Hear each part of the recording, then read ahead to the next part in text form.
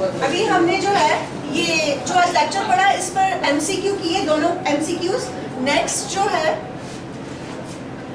कुछ long questions जो है मैंने आज के लेक्चर पर बनाए हैं तो आप इन, इन क्वेश्चंस को तैयार कर सकते हैं. Explain the types of data and next question है distinguish between the primary and secondary data तो आज जो है हमने process of collection of data पढ़ा. तो टाइप्स ऑफ़ डाटा पढ़ा और difference between the primary data and secondary data thank you very much और नेक्स्ट लेक्चर में जो है, हम पढ़ेंगे methods of collection of data तो इन जो प्राथमिक समंग के द्वितीय समंग के उनको कलेक्ट करने की जो भी विधियाँ हैं नेक्स्ट मेथड में हम पढ़ेंगे। ठीक है? Thank you